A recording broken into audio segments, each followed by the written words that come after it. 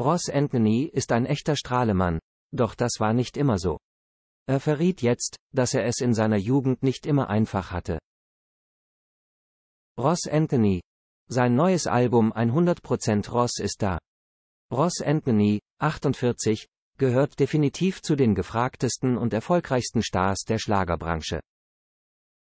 Vor über 20 Jahren gelang ihm zusammen mit der Popstars-Band Brosis der Durchbruch, heute begeistert er seine Fans solo mit seiner Musik. Und nicht nur das. Der 48-Jährige zeigt sich eigentlich stets gut gelaunt und mit einem Strahlen im Gesicht.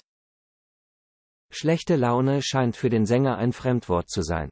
Dass das aber wohl nicht immer so war und Ross auch dunkle Kapitel durchleben musste, das offenbarte er jetzt im Interview mit express.de. Ross Anthony berichtet von traurigen Mobbing-Erfahrungen. Am 16. Juni erscheint Ross Anthonys neues Album 100% Ross, auf dem es auch einige sehr private Songs geben wird.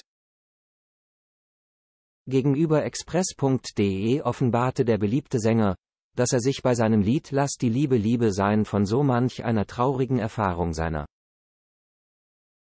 Vergangenheit inspirieren ließ. Darin heißt es nämlich unter anderem, das eine wirkt fremd, das andere vertraut. Denn was man nicht kennt, das fällt schneller auf. Was es damit auf sich hat, ja, es ist eine persönliche Geschichte. Es geht um Mobbing im Alltag. Da weiß ich Bescheid. Das habe ich auch in der Schule erlebt.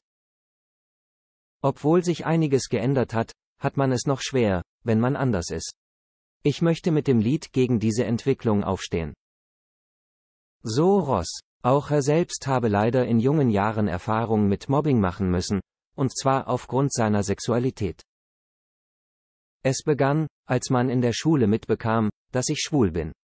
Es war aber nicht ganz so schlimm, denn ich war schon damals eine starke Person. Konnte mich wehren. Außerdem hatte ich viele gute Freunde, die auf meiner Seite waren und die Unterstützung meiner Eltern. Gott sei Dank, bleibt zu hoffen, dass Ross Anthony mit seinen Songs vielleicht anderen jungen Menschen Mut und Kraft schenken kann.